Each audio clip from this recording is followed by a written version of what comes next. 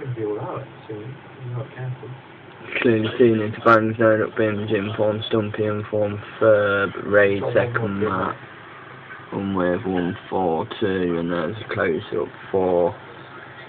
There is on the top, two for them on the bottom. I'm being asked about that.